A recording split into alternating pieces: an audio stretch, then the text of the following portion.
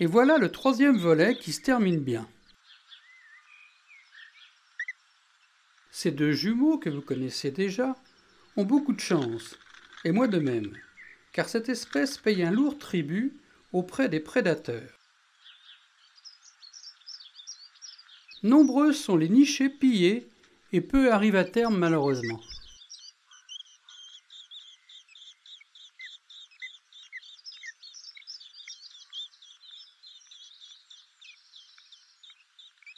En général, chez le merle noir, les juvéniles quittent le nid précocement, âgés de 12 à 13 jours en moyenne. Cette petite fratrie bénéficie d'un confort indéniable. Le quatorzième jour, ils ont pris leur premier envol. Enfin, c'est une façon de parler, car chez le merle noir et d'autres, les juvéniles quittent leur berceau sans pouvoir voler. C'est seulement après un nourrissage intensif d'une semaine par les deux parents qu'ils voleront réellement. Mais pendant cette période, gare aux prédateurs, car ils sont vite repérés par leur piaillement quémandeur.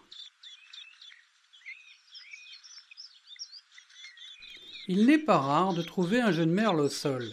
Si c'est le cas, placez-le délicatement dans la végétation dense, à hauteur d'homme. Il n'est pas abandonné, il s'est juste égaré.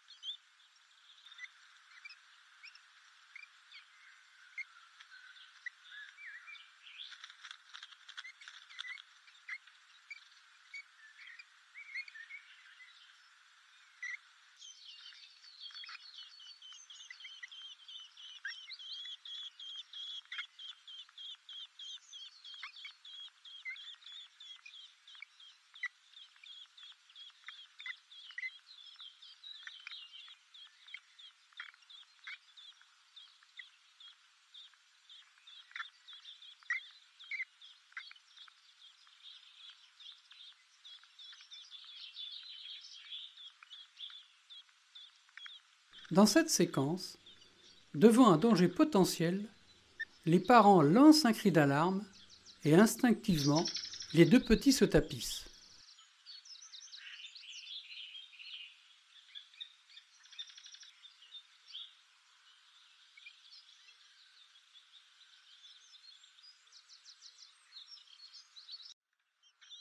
Quoi dire de plus sur cette trilogie, si j'ose dire? Si, une chose. Vous êtes venus nombreuses et nombreux pour regarder particulièrement l'histoire de cette petite famille. Je voudrais vous remercier pour tous vos commentaires ainsi que vos abonnements. Et je vous dis donc à bientôt pour une nouvelle vidéo bien sûr.